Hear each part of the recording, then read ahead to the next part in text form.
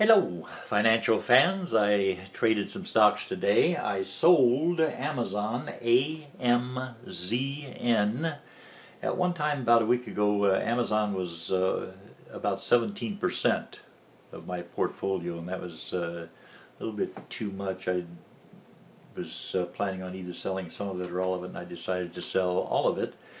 And I sold Amazon. Today, all my holdings in Amazon for 3221 uh,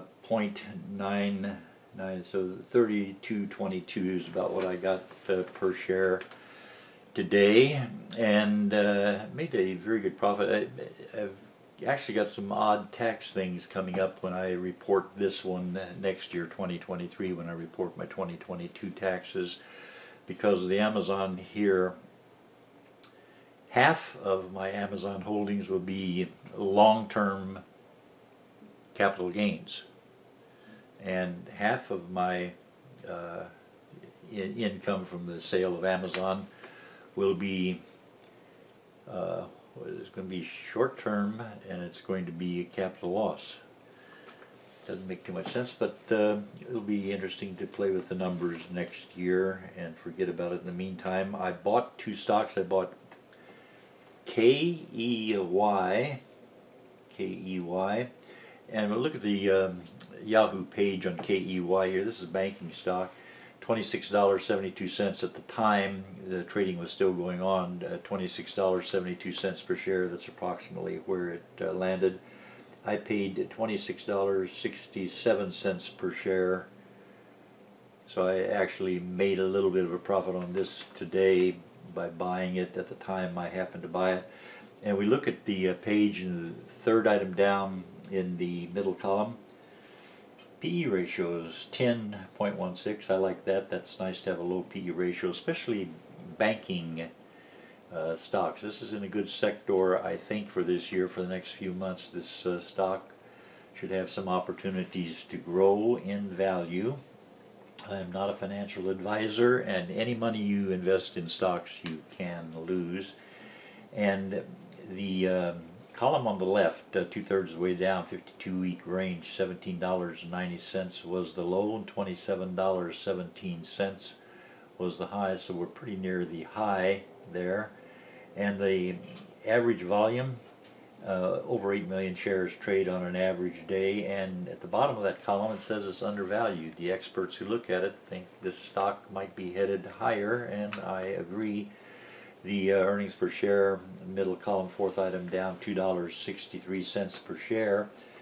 And a little bit lower we see the forward dividend and yield it pays 2.89%, almost 3% is what the um, stockholder gets for holding on to the stock.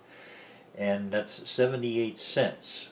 Now if we look at that $2.63 earnings per share, that 78 cents is easy. Just uh, get it out of the petty cash drawer and uh, watch the stock go higher. They have a one-year target estimate of $28.22. Uh, I think uh, it's it higher than that, but we shall see. And also, uh, my stocks now, I'm, I think about 6% is as much of my portfolio as I have in any one of my stocks. And I have about 70 different stocks that I'm tracking and uh, that I've purchased and that I'm holding on to right at this moment. Here's the other stock I bought today, Workhorse, WKHS. Um, had a very good day, uh, up over 20 cents per share, $3.49, uh, about a four, uh, three and a half dollar stock. And it's up 6.37% uh, for the day. Now Workhorse, uh, that's been my worst performing stock, but I bought more of it because I think it's going to be a turnaround story sometime. Maybe take a couple of years, but I think this is going to do well. And I have somewhere between 1 and 2% of my portfolio in it, so even if it goes bust, I'm not out a whole lot. But I think Workhorse, uh, they make electric trucks. They had a, uh, a near contract. They were in the uh, bidding pool for a contract for uh, trucks for the post office.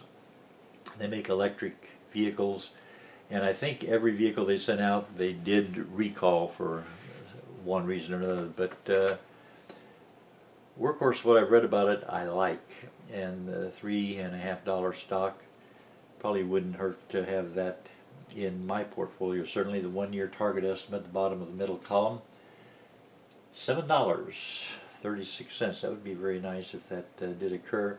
Let's go back and look at the numbers of Amazon. Now this is a stock that I sold today. I did not buy this. This probably will keep going up for a while. Amazon is a company that has amazing amounts of money changing hands every day. It sells lots of products and it makes a lot of money. And the PE ratio is a little bit too high for me right now. I'm going to stay away from it till the PE ratio gets down. Then I might buy it again sometime. Uh, PE ratio 49.71. Uh, no dividend at Amazon, and the one-year target, they think it's going to go up uh, a lot to forty-one hundred five dollars ninety-two cents. Uh, it certainly could happen, but anyway, with that uh, said, that is what is going on in my world of finance, and I hope you are making big profits there wherever you are, whatever you are doing, whatever you're investing in. And I thank you very much for watching.